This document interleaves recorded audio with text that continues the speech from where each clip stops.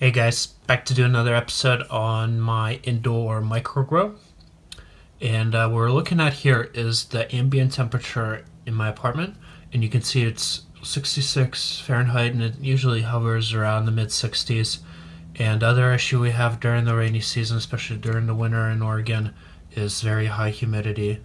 Uh, uh, if you can see that, it's 90% right now. Uh, so I constantly have to have like airflow in uh, through my place, and that obviously will cool it down. Outside, it's like 47 right now, I think.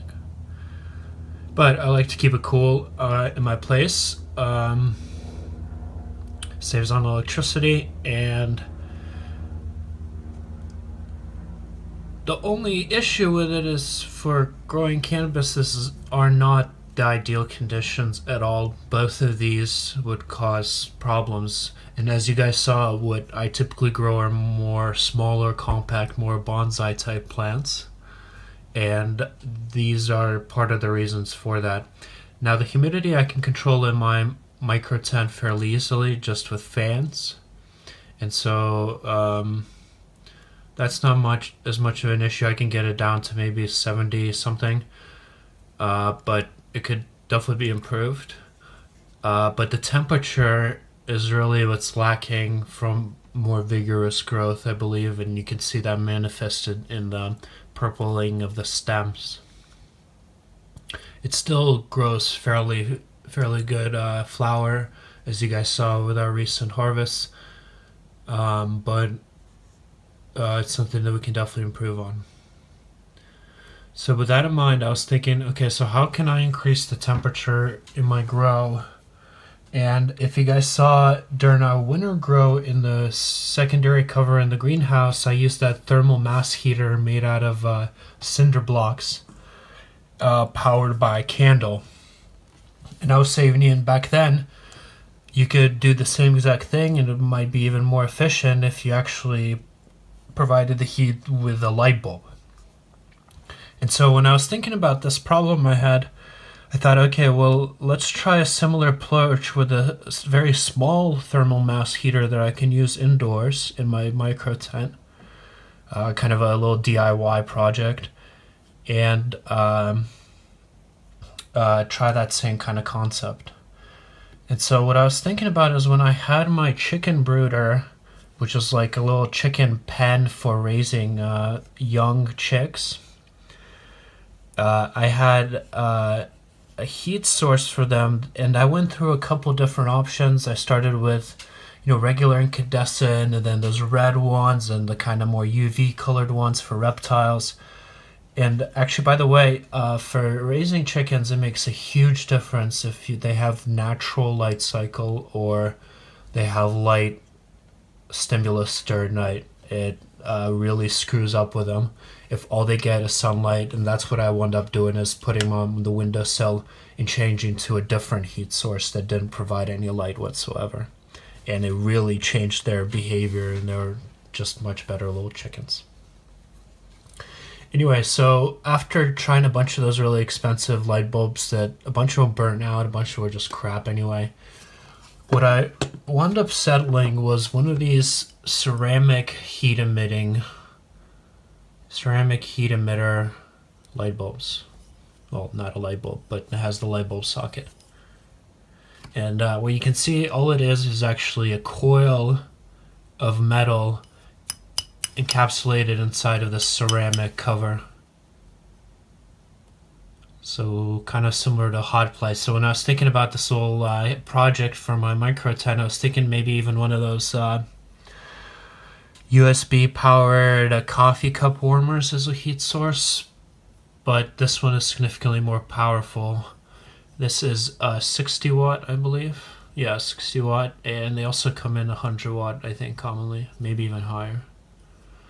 And so as far as the chickens went, this was such a great improvement. Um, I used it, I think, for two years straight and still have it, obviously, and never had to change it. So it was very much worth switching to that, along with the improvement from not having the light. so uh, when I had that, I had it just in this little socket here. You can see I just wired up this extension cord I had spare. And so that worked out great for the chickens. Uh, they would come up and rest underneath of it. I had it like positioned like this uh, horizontally, and you know they would come around it. So to functionalize it further, back then even with the chickens, I added uh, one of these dimmer switches, and you can see I just marked it off from zero to ten to give it a scale. And then uh, more recently, this was all kind of hardwired into the brooder previously, but more recently I just uh, added the other half of this extension cord and another spare plug I had uh, so that I could just plug in whatever I want into there and control it. So starting from this, what I think I'm going to do is First of all, just check uh, with my Kill A Watt reader and my IR gun the temperature relative to the wattage of the actual surface of this uh, ceramic heat emitter. So it goes up to 60 watts, and with the low wattage LEDs I'm using now, uh, you know, I could run it all the way up to 60, I guess, in the really cold parts of the winter but I'd rather probably stick around 20 and 30 and see if I can make that work. Um, and that's the whole thing is that when I use my HID lights, I have a 100 watt metal halide and a 70 watt high pressure sodium in my micro tent. Those things put off so much heat that I actually have to evacuate it to keep it cool enough in there. Um, but with the LEDs, it's the opposite. They don't put out really any heat at all, and so my temperature in the grow tent is pretty much what the ambient temperature is. So uh, that's what got me going on this project, and so I think what I'm going to do is add, once I measured uh, just the bare temperature, I'm going to add some other thermal mass here to increase that and um, help it emit more heat into my little grow area because just on a zone like this, even if I have a fan blowing all over it, I don't think it's really going to be enough. Alright, so here are the results. I only went up to 30 watts, which you can see in this first column here. Uh, then we have amps, and here we have a setting column, which is the setting onto this dial here and the max temperature in Fahrenheit here. So uh, this bulb has a hot spot right here, which is significantly hotter than the outer areas. Another reason I want to increase the thermal mass is to help dissipate that better. So uh, what you can see here is that we go from about 63 to about 200 Fahrenheit in that hot spot area, uh, going up to 30 watt. So we have good control of it using the dimmer switch, and uh, but still, even I run it at 100 watt at 200 Fahrenheit, I don't think it will be enough. So what I think I'm gonna do is add a cage of hardware cloth I have here so this is the half inch. So like this. And then I'm going to fill this with rocks, just uh, like I did in that uh, cinder block thermal mass heater we used outside. And so the rocks will be my added thermal mass I think I'll also put some down here to give it better stability to lower its center of gravity. That way with this extra extra height, it's not going to tip over. In fact, you know what? I might actually just put it on a larger wooden platform. And then, uh, yeah, so it's about a foot high total here, which is just above the height of my two gallon pots. And so remember, the effective range of one of these heaters is going to be above the heat zone. below it, it's not going to really heat much. In fact, uh, I can touch, even though this top part is still quite hot, I can touch this part here and it's not really hot at all because it only heats this upper area. So in that same line, you could probably just put a brick on top of it or a ceramic tile or something like that uh, and dissipate the heat like that. Especially if you wanted to make uh, a heater for maybe a seedlings or clones and uh, just heat it underneath gently with, uh, you know, a low setting. So lots of function I think here possible with this. So let's get going on putting it together. Okay, so I think what I'm going to use for the board is this old cutting board I'd lying around that I've been meaning to get rid of. I have no other real use for it, so it's not too wasteful for me to cut it up. And I really don't like wooden cutting boards anyway. So what I did was I took this plan marker and I put two holes in it. And all I did was I just lined this one up in the center and I made this one about an inch out, not measuring anything here, just eyeballing it. And the other thing I did was using my soldering iron, I made these two grooves to line up with the cord there. So all I did here was I put this uh, spare soldering tip I have for really fine work into one of them and then the felt tip pen into the other one and drew out a circle here that I'm going to cut out as my base. Alright, so there you go. I cut out the base. Damn near killed me. I cut this out by hand and I guess this stuff is like laminated but bamboo. You can see that grain there. It's so freaking hard. Anyway, so and then I just tacked it down with a couple screws. So it's going to be our base. So as far as the cage goes, this is just a scrap piece I had laying around and you can see how I connected them with the cage material itself. I just cut the ends here with a little bit extra piece and use that piece to wrap around to join them together. And this is just a scrap piece I had and so it just happened to be kind of a correct size. You might want to consider making it uh, to go to the wood base a little bit further out than I have it here and then tacking it down. I'm going to keep it like this because I think with the rocks being at the bottom, I have a feeling that it should be able to support itself here. So I got some gravel here, just from a gravel road, and I washed it. Uh, you could also use river rock. And then I went ahead and sieved it and screened it with a sieve made out of the same hardware cloth.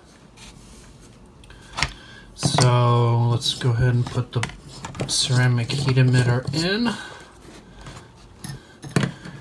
Um, or should we fill the bottom first? No, let's just go from the top.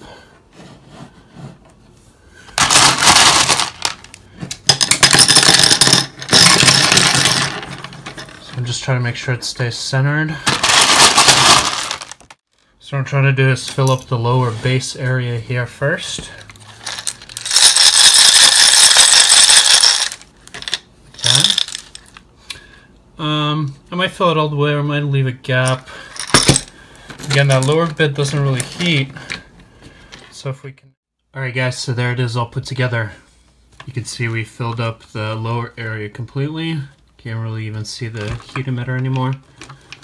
Um, and it, it, it is holding itself together so you can see if I lift it up from the top and shake it, it's not going to fall apart because the rocks here pushing up against the heat emitter and uh, it's also quite sturdy, even being quite tall. It does has, still have a very low center of gravity. It's it's not going to tip over easily, and even if it did, it would just be resting on this point, and this point, and this hot area in the middle wouldn't be touching anything. So I've been running it. Whoops, we just went up quite a bit there. So you see, I can control it to whatever wattage I want. So we've been running it at 30 watts, so let me just set it back.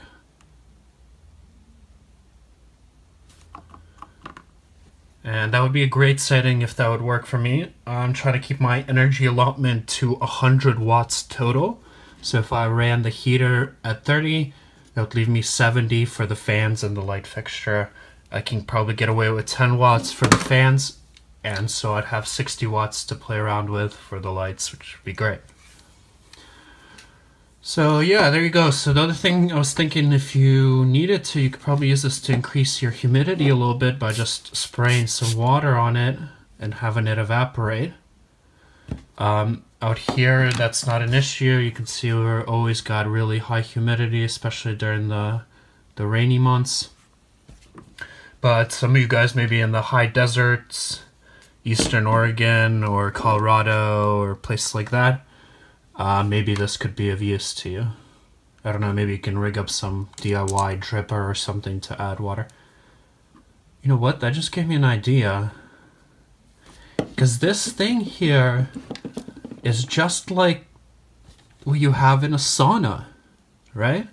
It's just a bunch, it's a heating source with a bunch of rocks on top is what you have in a sauna and then that heats the room and then you dump some water on top of it and that flash evaporates it steam and that further increases the humidity and the temperature in the sauna to get it to those high temps. Huh. What do you guys think? Uh, two by three by three foot sauna in my micro tent? I wonder if that would work. Okay well don't try this at home because i didn't seal up the the socket there so know, we'll probably make a short here, but it's not going to be the end of the world. Let's see if we can... Oh! Yeah! Oh yeah, steam. Awesome. Anyway, could you imagine me getting into a, my tent and making that into a sauna? That'd be great. But anyway, I think this might work out. Again, I have a 2 by 3 by 3 foot, so let's see what is that. Uh, 6, uh, 18 cubic feet. I think this might actually work. I'm not sure if we can do it at this wattage or we'll have to go up to the max, which is 60. Oops, wrong way.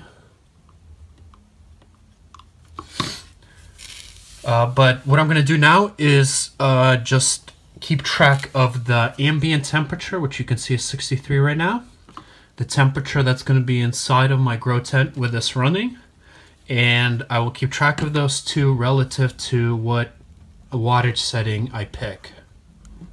And that will make me basically a new calibration curve similar to what we have here. That will allow me to say, okay, at 30 watts, I can keep it at 70, at 40 watts, 75, so on and so forth because this isn't really useful at all right now. Alright, so there you go. Um, if we're being really critical, we should think about what the alternative of this would be. So I would think it would be something like this small space heater I have here. And this one is digital so you can um, have it turn on and off when it reaches a certain temperature. But I think this would actually be overkill for that small tent. It's also about twice the surface area it takes up, and every square inch counts in my grow, so um, I think it would just be too much. And let's see. Where's the... Oh, here we go. Oh, yeah. 1500 watt. Uh, yeah, that would be way too much. So I think this is going to be a good option. The only thing that's really left is to wire in a temperature controller into here. And so they would turn on and off automatically and keep a stable temperature without you doing anything. And then you have a real nice piece of DIY maker type of automation for microgrow. So let me guys, uh, let me know what you think in the comments below about this little uh, thermal mass heater I just made. And I'll keep you guys informed on the results and how it turns out. So thanks for watching. See you in the next one.